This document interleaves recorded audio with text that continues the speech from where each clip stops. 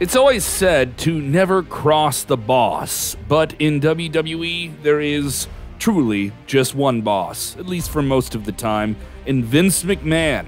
That has happened more than once. You can't run an empire the size of the WWE without rubbing some people the wrong way, making enemies on your way to the top, and maybe even severing some relationships along the way. While some of the names on this list coming up have had bad contacts with McMahon, others have made up with him.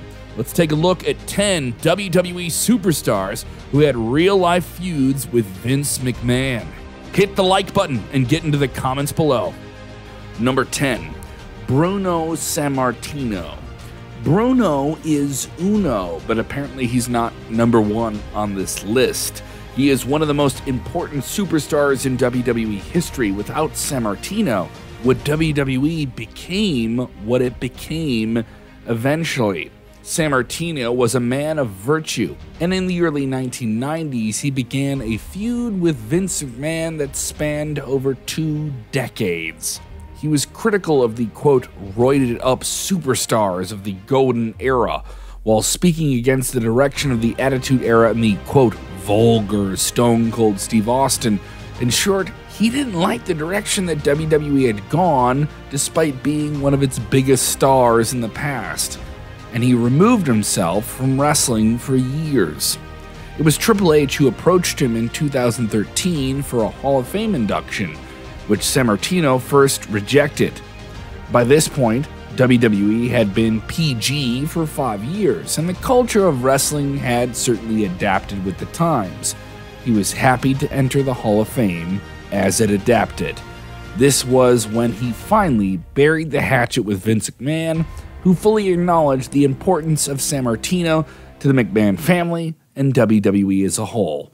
Number 9, Paul Heyman. While the ECW mastermind was well vetted into WWE, the feud between him and a creative conflict with Vince McMahon began in 2006. Paul Heyman was an important creative figure in WWE at the time he had clear differences in his vision with Vince McMahon and something that needed to be resolved.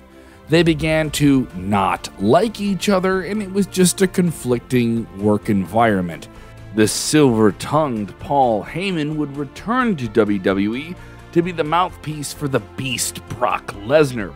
His second stint in WWE would also evolve into him being one of the most prolific talking characters in WWE in the last 20 years, which is perhaps why Heyman is such a pivotal character, one that may be perceived as a Hall of Fame performer in the future. Number 8, Verne Gagne.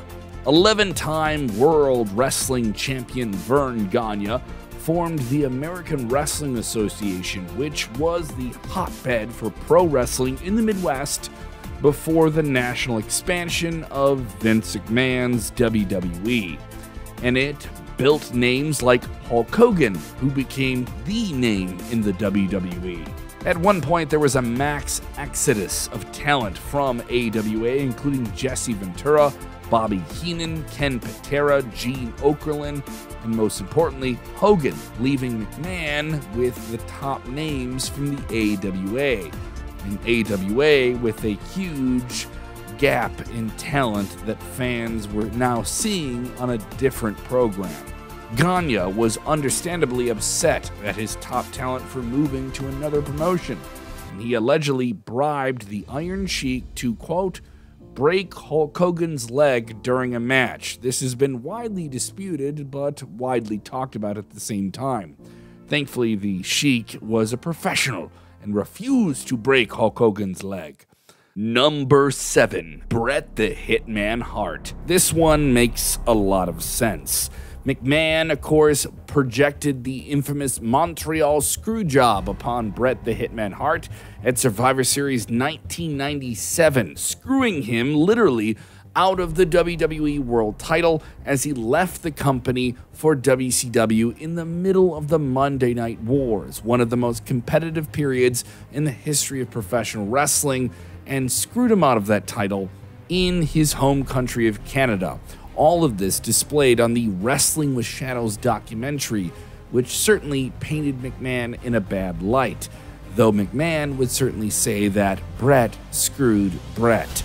The debate over this went on for decades and may even go on for all time. The bitterness between the two would go on for years, with Bret Hart having a stroke in 2002, the two parties beginning to mend fences over that medical issue, and four years later, Hart would be inducted into the WWE Hall of Fame, with both sides meeting on good terms. Eventually, they would be able to perform an angle at the 2010 WrestleMania. Number 6 Nailz. Kevin Wacholz, known by the name Nailz, wrestled for the WWE in a few different stints. However, in 1992, it was the end of the road for Nailz with a Z in WWE.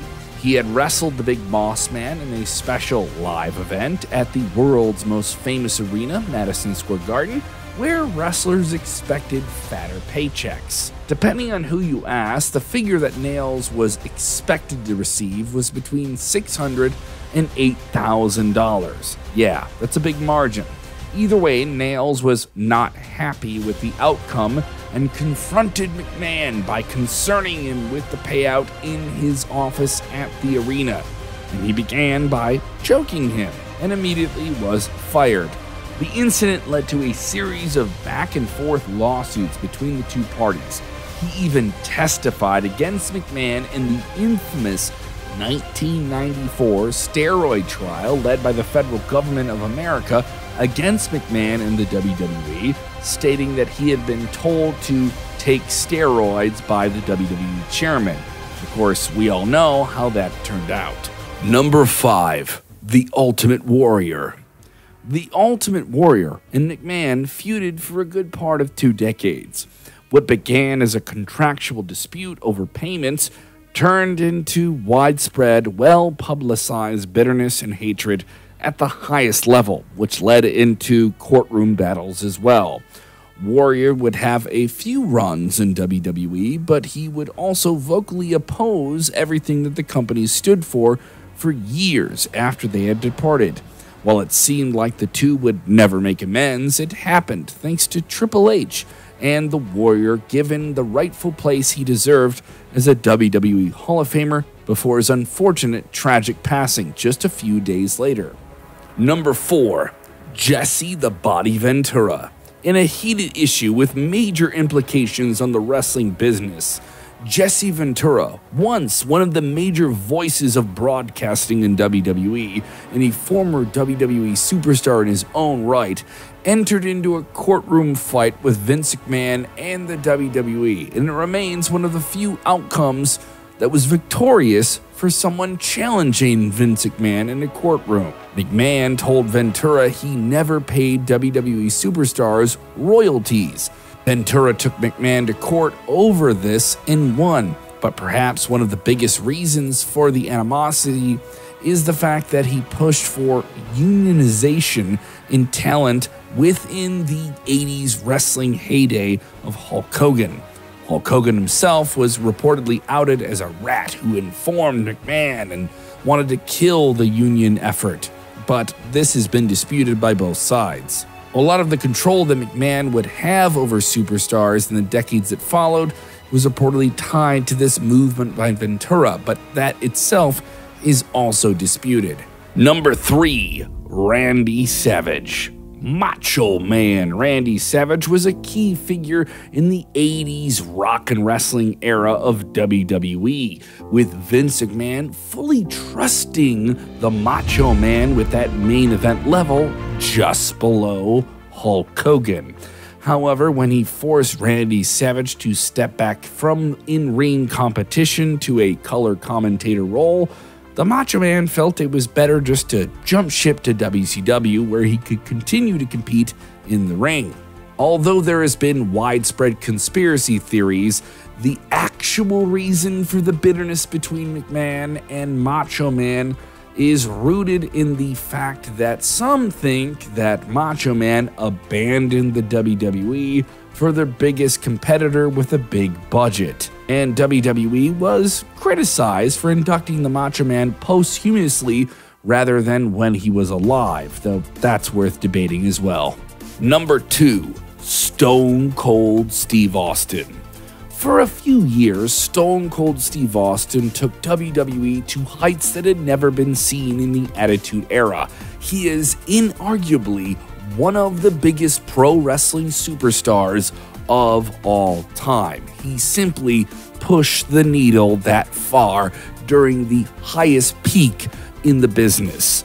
This is why his falling out with Vince McMahon and the WWE was so severe after he refused to put over Brock Lesnar on a random episode of Monday Night Raw.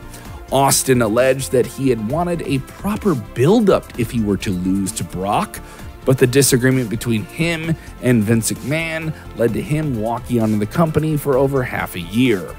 Austin would eventually return to the company for a brief return in in ring action and would wrap up a majority of his pro wrestling career at WrestleMania 19 in a classic bout against The Rock. The off screen feud between McMahon and Austin was much shorter than the on screen one between Stone Cold and the evil corporate master, Mr. McMahon.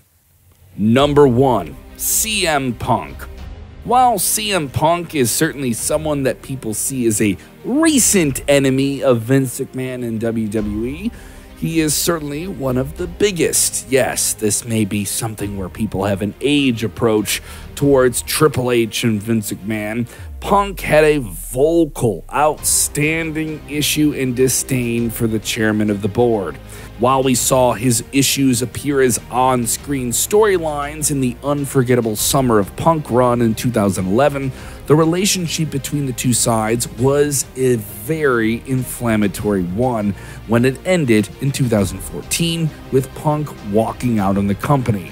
Many saw this as a culmination of creative frustration, health issues with Punk, and the company simply not being something that Punk wanted to be a part of anymore being on the road for years, major medical issues, and WWE's just creative conflict with him had just become enough for Punk. The straw that broke the camel's back was when WWE was sending him termination papers on his wedding day. While Vince McMahon has publicly apologized for the nature of Punk's termination, Punk rejected it by calling it simply a publicity stunt. What do you think? Sound off in the comments below.